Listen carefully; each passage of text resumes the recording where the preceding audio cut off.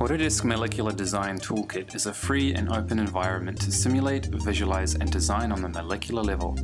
Using the Molecular Design Toolkit, you can build and simulate a small biomolecule, calculate and visualize molecular orbitals, refine and simulate a crystal structure, or build and share interactive molecular visualizations all in a single integrated environment.